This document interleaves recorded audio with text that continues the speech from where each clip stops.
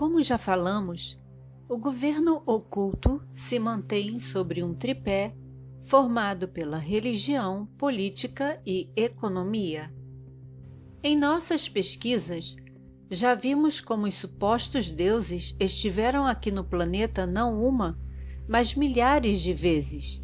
Visitas que ainda são refutadas pelos cientistas modernos. Também relembrando, Abrão era de Ur, cidade e estado muito importante da Caldeia, ao sul da Mesopotâmia. Ele saiu da Suméria e foi enviado para outra terra, a, abre aspas, prometida, fecha aspas, pelo Senhor, que já sabemos no original significa Elohim, portanto, no plural, deuses. Entretanto, também já falamos da rivalidade dos filhos de Anu, Enlil e Enki, pelo controle do planeta. Sendo meio-irmãos, a situação ainda era pior, porque Enki foi o primogênito do rei Anu, mas era filho de uma concubina de origem reptiliana. O herdeiro legal era Enlil, filho de Antu, esposa de Anu. Os principais deuses sumérios eram em número de doze: An, Ki, Enlil, Enki, Nimá, Nanar, Inanna, Utu, Nunurta, Damuzide, Marduk e Negizida. Vemos então que antes que um povo se formasse, o croqui de um plano que pretendia criar linhas do tempo que permitissem que tudo saísse conforme os planos do seu inventor já estava em andamento. Surge então Yahvé, não como um representante religioso, mas um nome que dois grupos tomaram para si. Sabemos que a fonte criadora, o todo, tem como essência o puro amor e a luz, e que os seres multidimensionais emanam extrema positividade, energias limpas, curadoras e profundo amor Religiosamente vemos um Senhor irreconhecível, pois era extremamente cruel, onde apenas os que se submetiam às suas ordens absolutas eram os favorecidos. Quem não obedecia ou questionava era exterminado.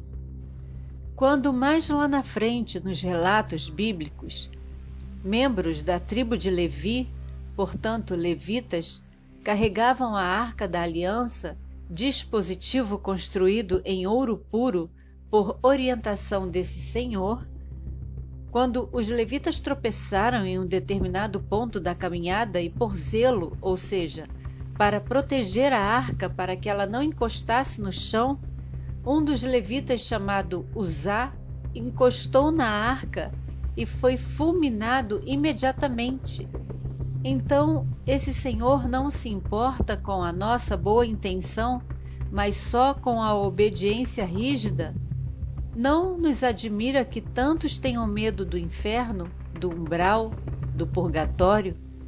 Se a arca jamais poderia cair ao chão, era uma das leis, deveria ele deixar que ela caísse? Ou algum fenômeno sobrenatural evitaria que ela encostasse no chão algo que talvez agisse na gravidade. Então vemos esse Avé e vemos um outro que no livro de Isaías, no capítulo 1, diz: O Senhor não aceita a obediência de quem tem o coração sujo. Então temos um Deus confuso, mal-humorado em alguns dias e bem-humorado em outros? Em tudo já havia um cronograma, o que conhecemos por agenda. Vamos viajar um pouco na maionese agora? No livro de Apocalipse diz que o número da besta seria 666. Já sabemos que os supostos deuses vieram à Terra em número de 660 e que 6 mais 6 e mais 6 resultam no número 18, que dividido por 3, trindade, dão o número 6, que, segundo relatos bíblicos, é número de homem, 666 não seriam três homens poderosos no topo da pirâmide, responsáveis por cada tripé do governo oculto, preparando-se para a implantação do líder único do governo oculto da nova ordem mundial? É para se pensar. O canal não está afirmando, nós estamos, como dissemos, viajando na maionese. Além de trabalharem aqui, esses supostos deuses estabeleceram uma base em Marte que os sumerianos chamaram de Lamu. Com o passar do tempo, Enki e Enlil tornaram-se pais de muitos filhos. Nos lembra a promessa feita a Abraão: Muitos filhos terás e serão como a quantidade das estrelas, se puderes contar. Surgiram então os dois clãs, o de Enki e seus seguidores, e o de Enlil com seus seguidores. An ou Anu também tinha um meu irmão chamado Alalu, que tentou roubar-lhe o trono. Acabou levando a pior e fugiu, e em sua fuga encontrou o planeta Ki, a Terra. Acreditou que pela sua descoberta seria o novo rei, mas o controle foi oferecido a Enlil, filho legítimo do rei do planeta que supostamente teria sido Nibiru. Desafiando Anu para uma nova luta, Alalu foi novamente derrotado e exilado em Marte, abandonado à morte.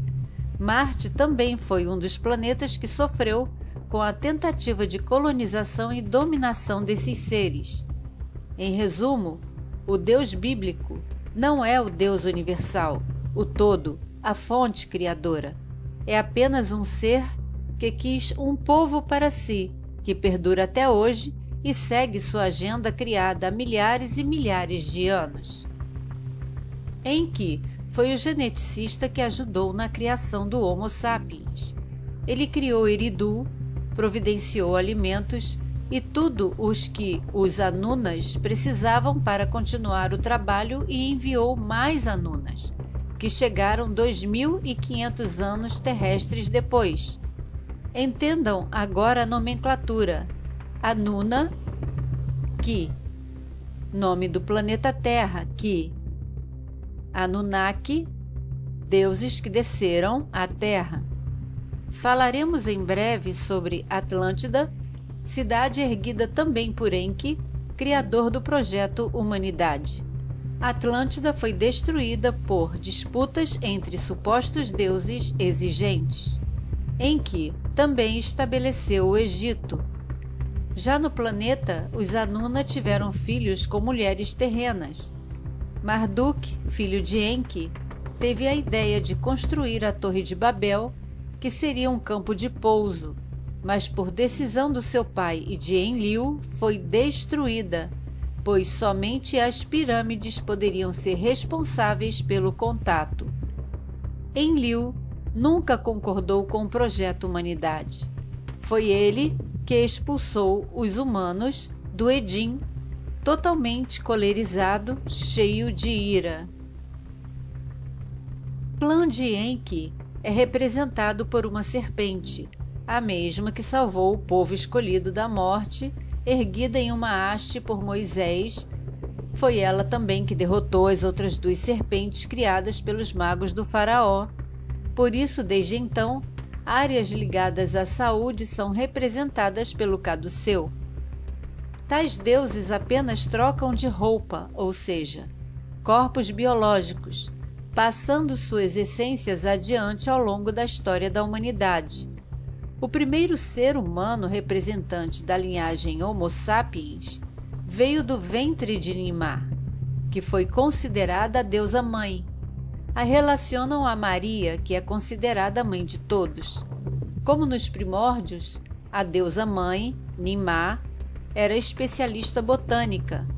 Durante a Inquisição, e já sabendo disso, um determinado ramo da religião perseguiu todas as mulheres que manipulavam ervas para a cura, levando-as à fogueira com a acusação de serem bruxas.